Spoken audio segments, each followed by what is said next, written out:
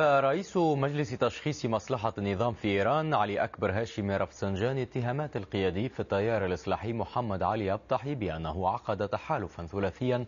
جمعه مع الرئيس السابق محمد ختمي والمرشح الخاسر في الانتخابات مير حسين موسوي.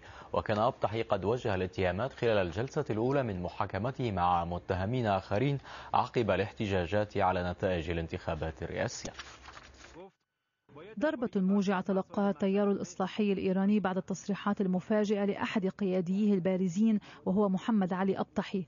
تلك التصريحات التي استدعت ردا من رئيس مجلس تشخيص مصلحة النظام علي أكبر هاشم رفسنجاني وجبهة المشاركة الإصلاحية الإيرانية. سارع رفسنجاني إلى نفي اتهامات أبطحي له بالتحالف مع الرئيس السابق محمد خاتمي والمرشح الخاسر في الانتخابات الرئاسية مير حسين موسوي. وشدد على أنه لم يؤيد أي مرشح في الانتخابات ولم يكن له أي دور في الاحتجاجات التي أعقبتها. لكن تصريحات أبطحي لم تنتهي عند هذا الحد.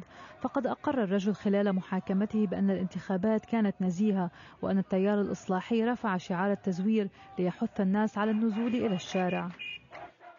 توی اون سازماندهی آرا وجود داشت. لقد تحولت مسألة التزوير إلى إذن بالشغب وقد رفع شعار التزوير بعد الانتخابات مباشرة لدفع الناس للخروج إلى الشارع.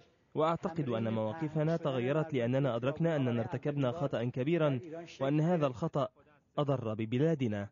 جبهة المشاركة الإصلاحية الإيرانية أصدرت بيانا أعربت فيه عن اعتقادها بأن محاكمة السياسيين بارزين في طهران هو استعراض مثير للسخرية لأن اعترافات أبطحي جاءت وليدة إكراه. الجلسة هذه هي الأولى في محاكمة مئة شخص من بينهم سياسيون وصحفيون بتهمة تهديد الأمن القومي والاعتداء على ممتلكات المواطنين ومؤسسات حكومية. وتصل عقوبة تلك التهم إلى السجن خمس سنوات. علي مكي بي بي سي.